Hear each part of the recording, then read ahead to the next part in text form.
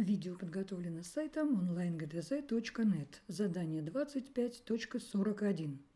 Несколько одноклассников после окончания школы решили обменяться фото.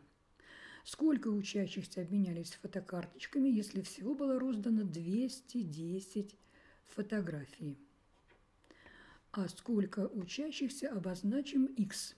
Итак, каждый из X учеников дал свою фотографию оставшимся – Тогда всего учеников X, и каждый из них дал оставшимся X минус 1 свою фотографию.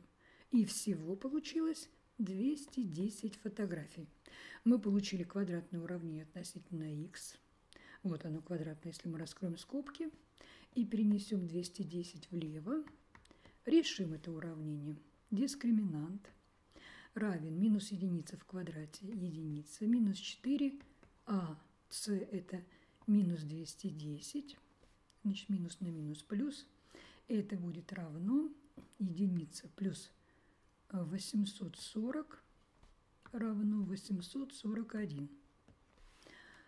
х первое, второе равно минус b, это плюс единица, плюс минус корень из 841 и разделить на 2а, это просто на 2. Это будет равно единица плюс-минус. Корень из 841 будет 29. И разделить на 2. Тогда х первое равно единица плюс 29 – 30, разделить на 2 – 15. х второе единица минус 29 минус 28 на 2 минус 14. Но так как число учеников не может принимать отрицательное значение, то мы выбираем один корень, число учеников равно 15. Запишем ответ 15 учеников.